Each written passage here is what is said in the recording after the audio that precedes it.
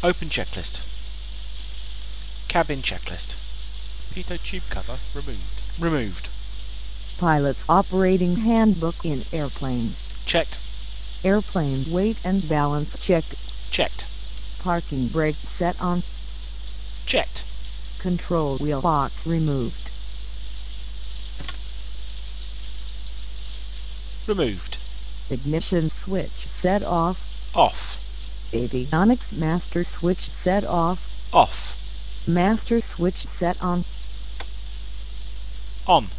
Fuel quantity indicators checked. Checked. Fuel quantity annunciators extinguished.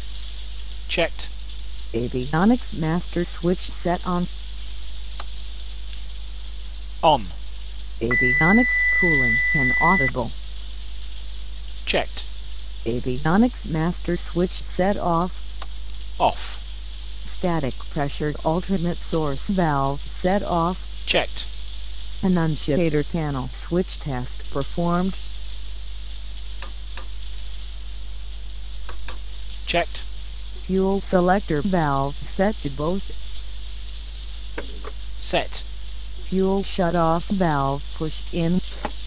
Set. Flaps fully extended.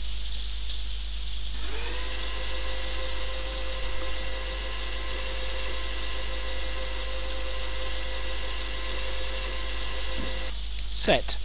Pitot heat on and working.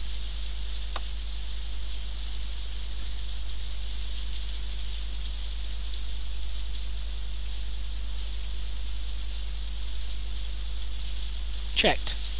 Pitot heat set off. Set. Master switch set off. Set. Elevator trim set to take off. Checked. Checklist complete. Thanks. You're welcome. Close checklist.